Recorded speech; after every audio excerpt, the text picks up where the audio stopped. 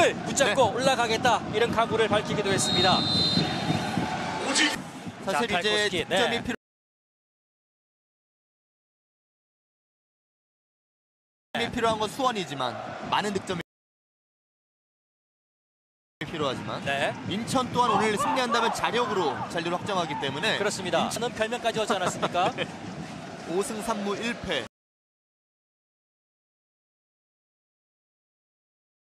그렇습니다. 아, 대단히 좋은 상승세를 만들어냈고 사실 이제 지난 경기 수원블루인즈 1패한 것도 그동안 오늘도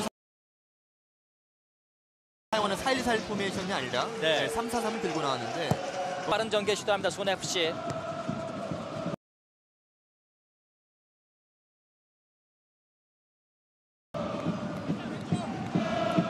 위쪽선을 하면서 정이 잡아서 돌아서 들어갑니다.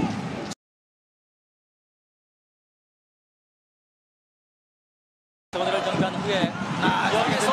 자, 브루스 지금 골이 났는데요. 네. 포항의 양동현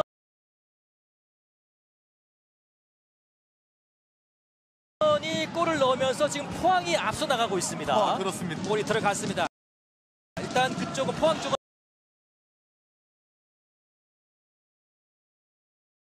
포항이 1대 0으로 성남에게 앞서 있는 상황입니다. 하는 능력은 네. 사실 결코 뒤지지 않아요. 네. 그런데 오늘 경기 현재까지는 그게 잘 반영이 되지 않고 있습니다. 그렇군요. 박대한 3점 3골 이상이 필요하고요. 박스 앞쪽까지.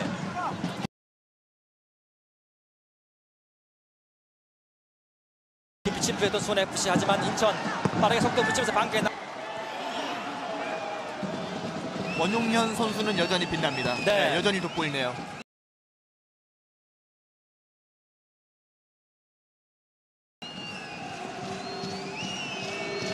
자, 수원 FC 이만함 선수가 공을 가지고 올라 이광재 측면에서 짧게 연결 자, 바로 자, 김영환 나와요.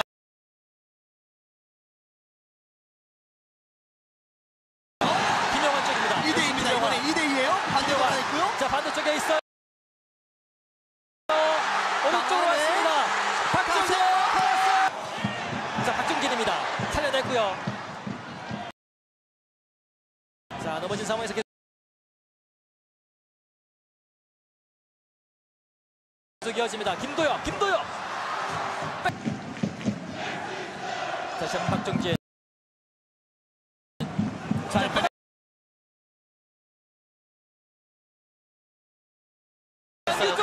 있어요. 아,